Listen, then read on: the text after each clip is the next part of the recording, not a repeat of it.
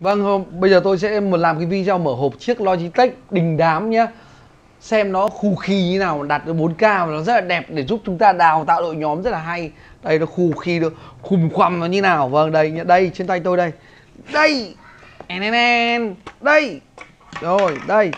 Và ở dưới của nó là gồm có ui một bao da, một cáp USB, một sách hướng dẫn sử dụng. Vâng, ok. Và một cái che cam mắt camera quá khủng khoằm luôn. Dừng. Đây thì cái lắp chắn anh anh chị em sẽ để ở đây.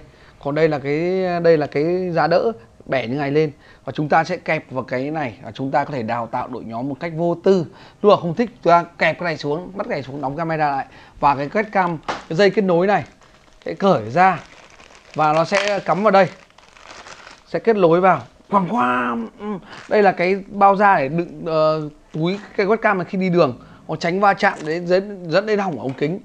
Ống kính 4K rất là đắt với cái trị giá webcam 5 triệu đồng này. Rất là xịn sò.